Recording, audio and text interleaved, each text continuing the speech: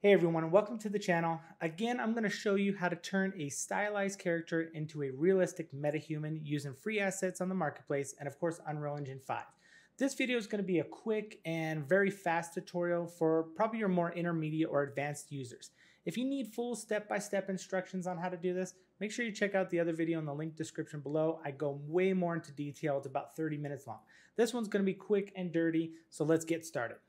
First things first, you're going to want to download two items from the Unreal Marketplace. So head on over to unrealengine.com slash marketplace, search for MetaHuman plugin. You're going to need to download that. That's the main new plugin that allows you to take other meshes and import them to MetaHumans. And the other item you need to search is Stylized Character Kit. This here is a stylized character that's on the marketplace and it's free, so go ahead and download that and let's get started on Unreal. Next, what we want to do is let's open up the Epic Games launcher, head over to library, and go down to Vault. Let's search for MetaHuman. We're going to go ahead and add the MetaHuman plugin that we just downloaded, install it to your engine, whatever latest engine version you're using of Unreal.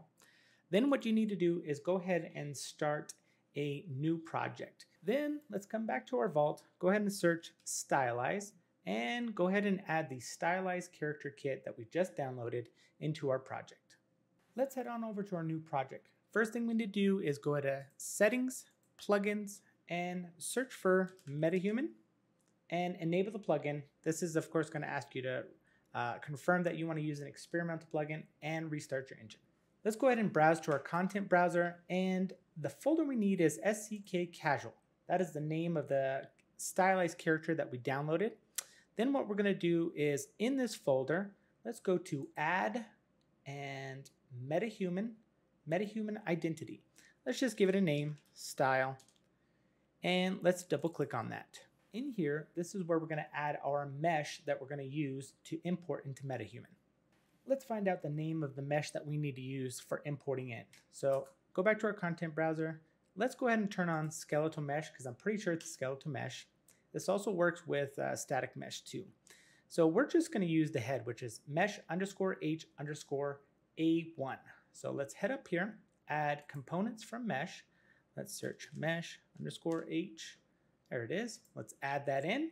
Now using the standard move controls like the editor, what we're gonna do is get a little more in line with this head here.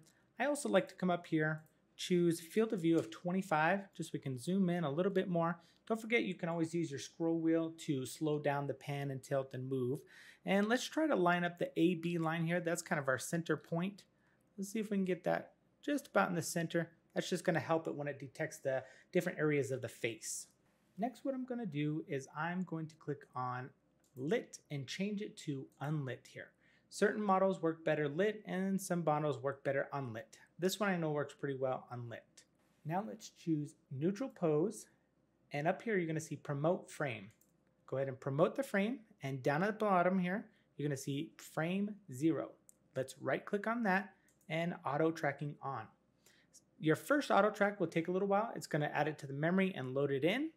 Once it's done it, you're gonna see it's gonna find the eyeballs, the mouth area, and part of the face. As you can see, it's done a pretty good job of finding everything that we need.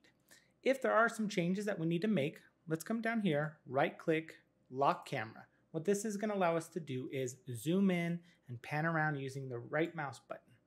If you see any lines or anything that are out of place, you can either select a complete line like that or just select a single point and move it around to your liking. This looks pretty good. Let's go ahead and choose our body.